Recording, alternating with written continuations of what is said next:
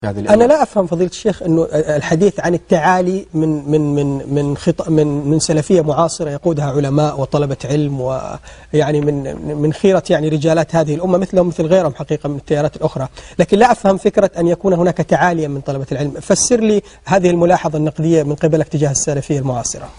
لا يظهر التعالي كما ذكرت لك باعتقاد أنهم هم الذين حصروا منهج السلف. هم الذين يتبعون منهج السلف فقط. كثرة ادعاء أن غيرهم يخالف قطعيات الدين وأصول الدين وثوابت الدين.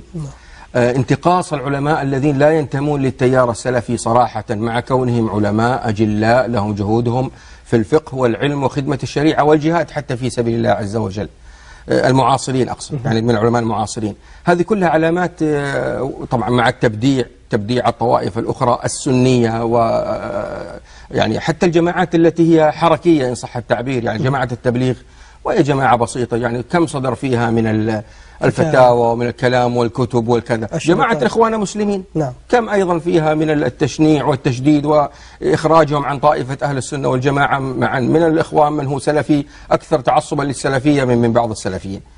فيعني